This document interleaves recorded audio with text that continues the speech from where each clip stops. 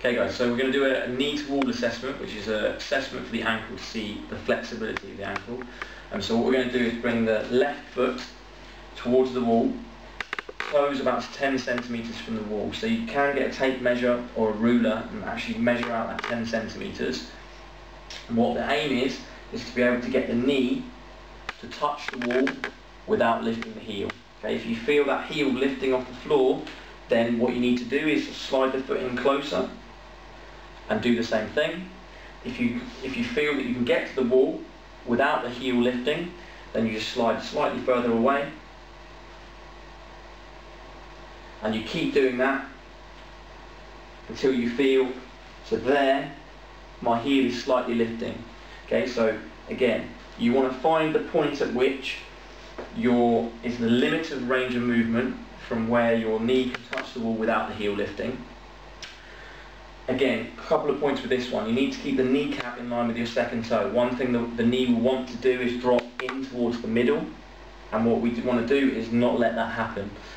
So we want to keep that knee in line with the second toe. The other thing is trying to keep this leg out of the equation. So we don't want to bring this leg back to here and actually limit this movement by this stretching this leg.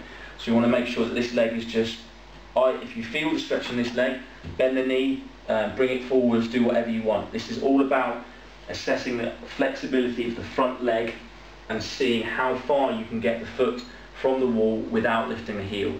Again, if you can get over 10 centimetres, then that's really good. If you get under 10 centimetres, then it's something you want to work on.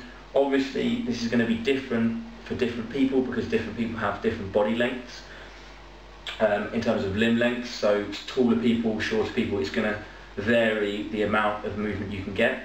But the other thing you want to look at is is the left side as good as the right side? Is there a discrepancy there? Often if you've had sprains or strains, anything like that in the ankles, you're going to find that there's limited range of movement on one side of the side that was sprained previously and that's going to affect all of your functional movements that you do. So again, for this assessment, we do that on one side, and then we swap sides, we do it on the other side, and you mark down how far you can get from the wall on each side.